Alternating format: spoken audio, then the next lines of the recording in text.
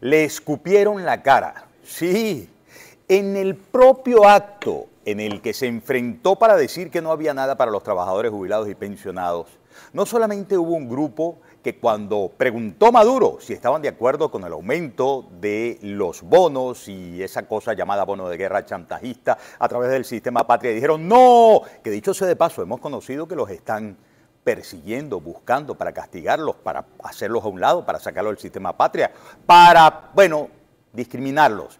Hubo una gente que le dijo rata inmunda, ¿tú lo sabías?